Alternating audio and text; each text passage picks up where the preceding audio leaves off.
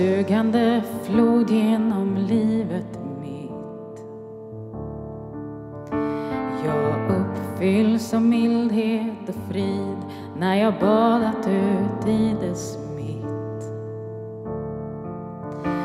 Och var gång jag vågat att bada i den blir jag hel jag känner ett lindrande ljus gå genom märg och ben. Och nu undrar jag varför jag inte badar mer. Varför, varför när jag vet allt det ljusa och goda som det ger. Det kan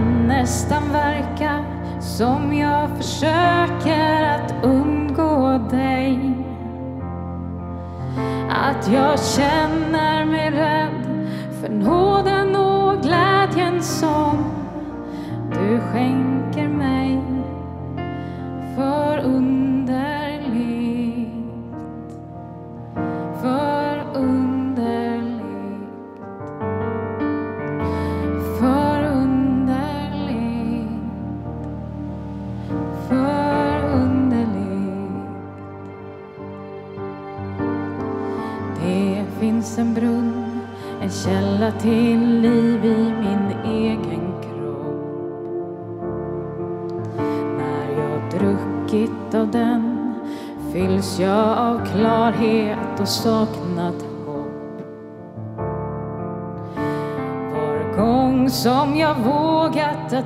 torka ur den blir jag hel och ren.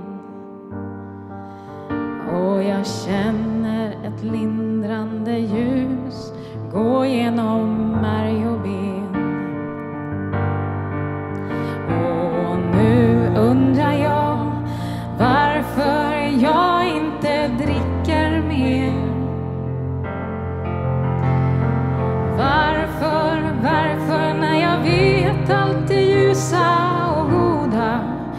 som det ger. Det kan nästan verka som jag försöker att undgå dig. Att jag känner mig rädd för nåden och glädjen som du skänker mig. Förunderligt, förunderligt. Jag vill trotsa det motstånd jag har, ta emot det som gör mig gott. Det är klokt att gå runt och söka det som jag redan fått. Och nu undrar jag varför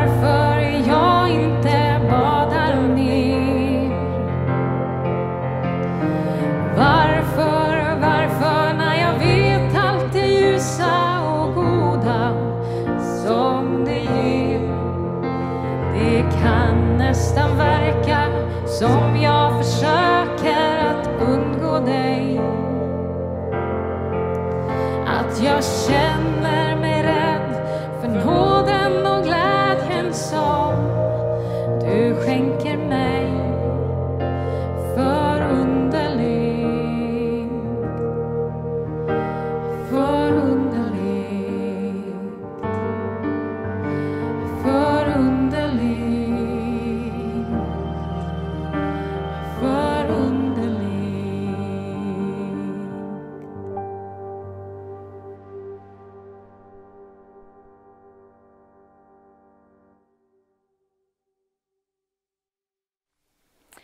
Välkommen till Vasakårens andakt idag den 20 juni 2021. Jag heter Elin Hammarberg och jag är soldat på Vasakåren. Eh, och eh, jag vill idag ta med er i två bibelberättelser eller bilder från Bibeln. En av dem eh, som jag tänkte på först kommer från Romarbrevet 7 och 19. Det goda som jag vill, det gör jag inte. men det onda som jag inte vill, det gör jag. Det var det bibelstället jag tänkte på först när jag hörde den här sången, Floden. Jag tänkte på alla de som jag har sett gråta över allt som de har ångrat och känt varit fel. Och jag tänkte på när jag kom på mig själv med att nu har jag inte bett till Gud på väldigt länge, men jag har lagt ganska mycket krut och tankar på annat. Det här bibelstället eh, är hämtat från ett stycke i Romarbrevet som resonerar kring förhållandet mellan människan som individ och lagen som kommer från Gud och beskrivs som helig, rättvis och god. Det står också att när lagen kommer in så får synden liv. Jag förstår det som att när budorden om rätt och fel träder in i mitt medvetande och i mitt förnuft och jag vill förhålla mig till Gud så behöver jag ställa mig själv och mitt beteende emot det som Gud säger är rätt och fel och bli tvungen att se mig själv som ofullkomlig. Och innan dess hade det varit lättare och lite strunt samma. Så när jag vill och blir medveten så blir jag tvungen att fatta beslut om hur jag ska förhålla mig till det jag ser i spegeln. Och ställa det emot vad jag bekänner som det rätta. Jag har ganska rakt av skjutit ifrån mig det här bibelordet tidigare. Anledningen till det har varit att jag inte hör Jesu förlåtelse i sammanhanget. Och det har jag uppfattat som en nyckel i tron.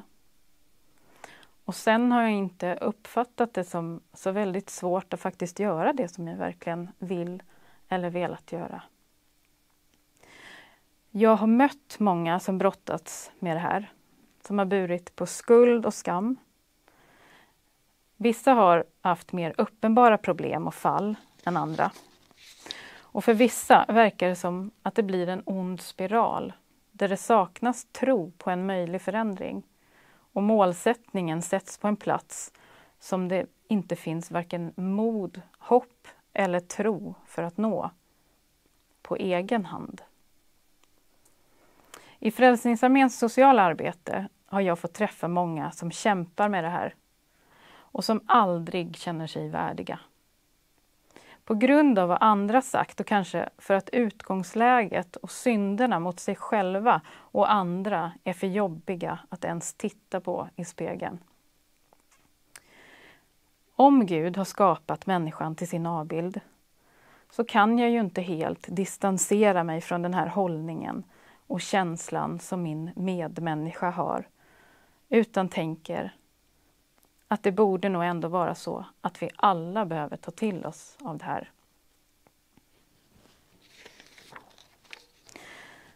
För den som har haft ett lättare liv, som jag tycker att jag har haft, kan det ibland kännas lätt att göra rätt. Men oavsett vad jag gör så blir det inte helt rätt, om Gud är min måttstock. För den som känner att det alltid blir fel och att livet är jättesvårt är det kanske lättare att leva i ödmjukheten inför spegelbilden, men svårt att ta emot förlåtelsen. För den som tycker att det hela känns lätt har kanske svårare att leva i ödmjukheten, men lättare att ta emot förlåtelsen. Jag tror att ödmjukheten och underkastelsen är det första steget. Det andra steget är att ta emot förlåtelsen och kärleken och bärhjälpen. Att ta emot ljuset från Jesus in i den spegelbilden. Det är i det mötet den om, det omöjliga kan bli möjligt. Och vi får känna det som att vi är i floden eller dricker av vattnet. Det är i alla fall min upplevelse. Det andra bibelställe jag tänker på är liknelsen om den förlorade sonen. Liknelsen om den förlorade sonen. Lukas 15, 11-32. För att ytterligare förklara denna tanke berättade han följande. En man hade två söner. Den yngre sa till sin far. Jag vill ha min del av arvet nu istället för att vänta tills du dör. Då gick fadern med på att dela sin egendom mellan sönerna. Några dagar senare gav sig den yngre sonen iväg till ett främmande land. Där levde han livets glada dagar och gjorde slut på alla sina pengar. En svår hungersnöd drabbade landet och han började lida nöd. I sin förtvivlan bad han då en lantbrukare att anställa honom för att vakta hans svin. Men så småningom blev han så hungrig att han till och med skulle kunna äta svinens mat, men ingen gav honom något. När han till sist tog sitt förnuft till fånga sa han till sig själv. Hemma har, jag till, har till och med de anställda vad de behöver och mer därtill och här går jag och håller på att dö av hunger. Jag går hem till min far och säger Far, jag har syndat mot både Gud och dig och jag är inte längre värd att kallas din son. Men var snäll att låt mig få arbeta som en av dina tjänare. Han återvände alltså hem till sin far. Medan han fortfarande var långt borta såg hans far honom och fylldes av kärlek och medkänsla. Han sprang emot sin son och kramade om honom och kysste honom. Sonen utbrast. Far, jag har syndat mot Gud och mot dig och är inte längre värd att kallas din son. Men han sa till tjänarna. Skynda er, ta fram den bästa högtidsdräkten i huset och sätt på honom den. Och en ring med juveler och ett par skor. Och slakta gödkalven som vi har. Vi måste fira det här. För min son var död, men han har återvänt till livet. Han var förlorad, men är återfunnen. Och så började festen. Under tiden kom den äldre sonen hem. Han hade arbetat ute på åkrarna och redan långt på håll hörde han musik och dans från huset. Förvånade frågade han en av tjänarna vad man firade. Din bror har kommit tillbaka, sa den. Och din far har slaktat kalven som vi fött upp och ställt till med en stor fest för att fira att han kommit hem välbehållen. Då blev den äldre brodern rasande och ville inte gå in i huset. Hans far gick ut och försökte övertala honom att komma in, men han svarade i alla dessa år har jag arbetat hårt och inte en enda gång har, har jag vägrat att göra vad du har bett mig om. Men under hela denna tid har du inte ens gett mig en killing så att jag kunde ha en fest med mina vänner. Men nu när den där slösaren kommer hem, som har gjort av med dina pengar ihop med prostituerade, då firar du det med att slakta den bästa kalv som fanns här på gården. Se så min käre son, sa fadern till honom. Du och jag står varandra mycket nära och allt jag har är ditt.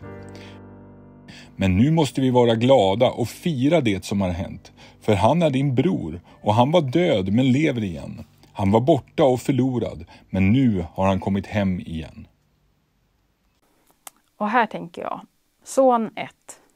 Nyfiken, sugen på livet, utmanar den invanda och trygga vågar be om sin rätt och lämnar hemmet för att se någonting, någonting annat.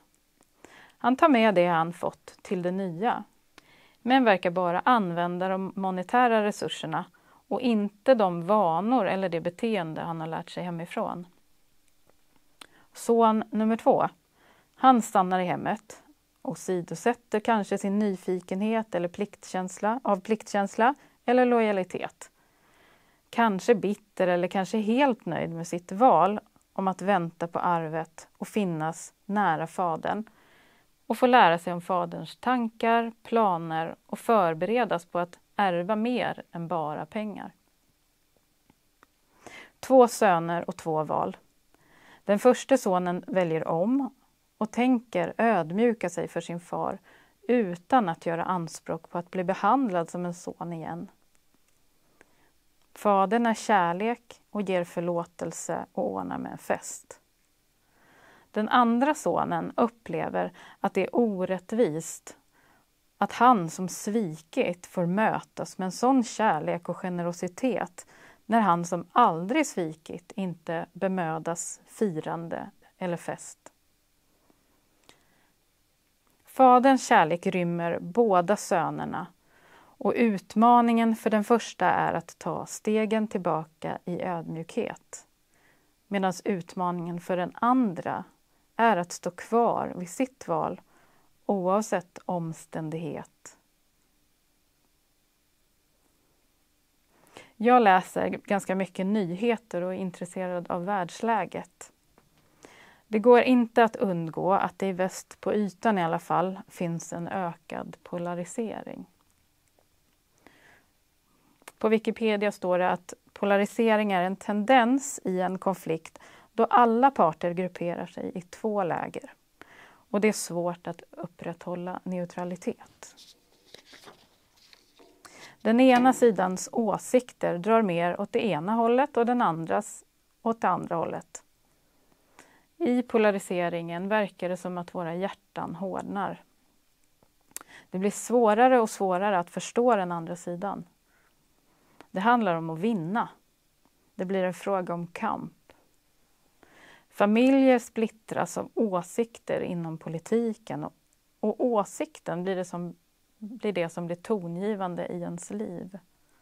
Den ton som hörs både inåt och utåt.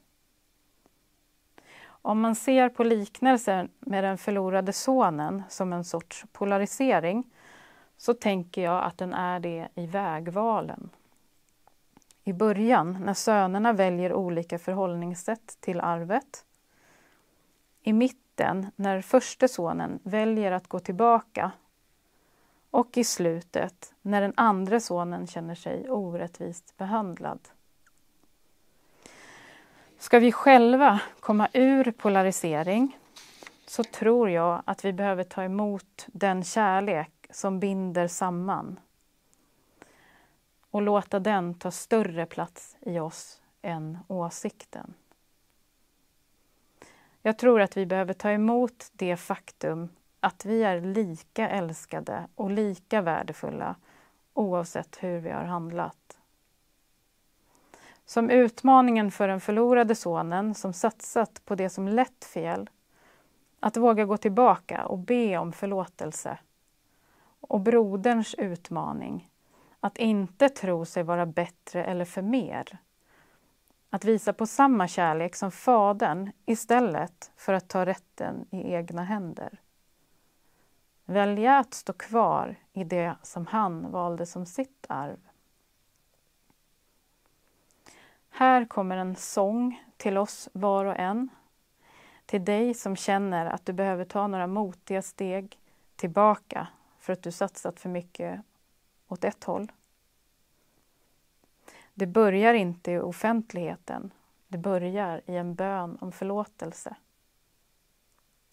Till dig som satsat åt helt andra hållet och tycker att uppmärksamheten förskjuts till den som väljer fel. Det börjar inte i offentligheten. Det börjar med att stanna upp i bön och be om ödmjukhet.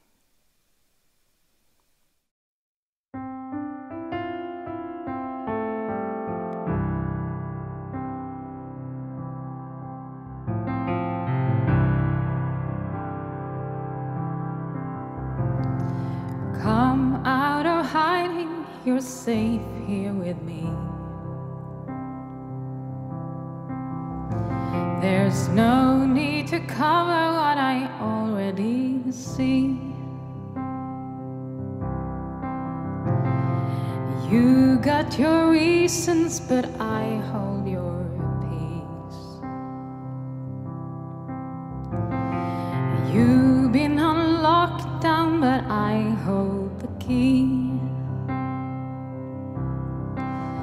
Cause I loved you before you knew it was love, and I saw it all. Still, I chose the cross, and you were the one that I was thinking of when I rose from the grave.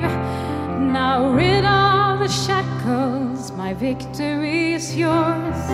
I tore the veil to come close. There's no reason to stand at a distance anymore. You're not far from home.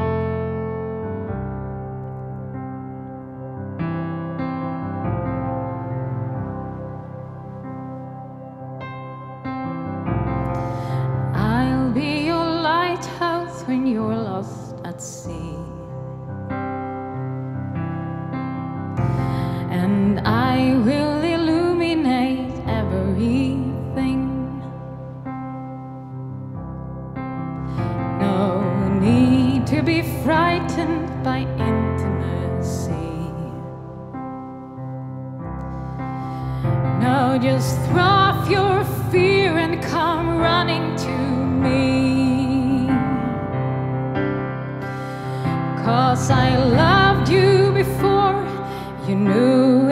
Love, and I saw it all. Still, I chose to cross, and you were the one that I was thinking of when I rose from the grave. Now, rid of the shackles, my victory is yours, and I tore the veil for you to come close. There's no reason to stand at a distance anymore. You're not far from home.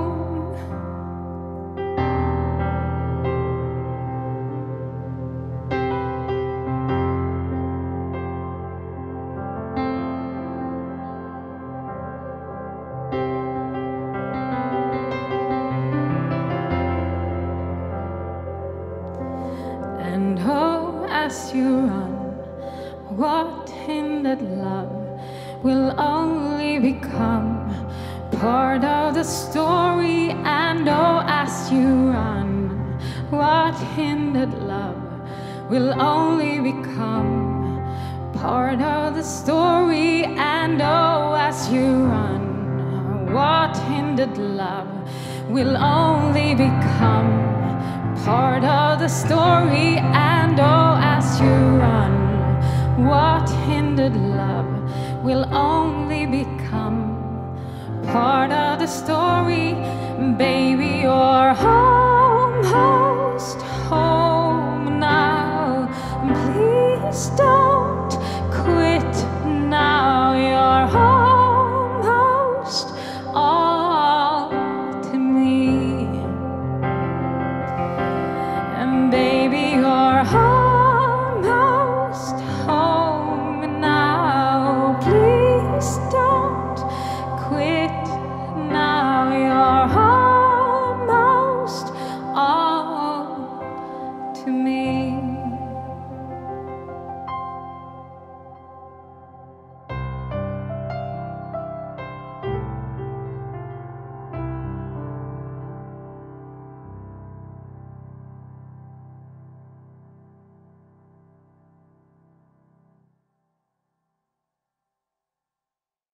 Tack för att du har tittat på vår andakt idag. Vi önskar dig Guds rikaste välsignelse och en skön sommar.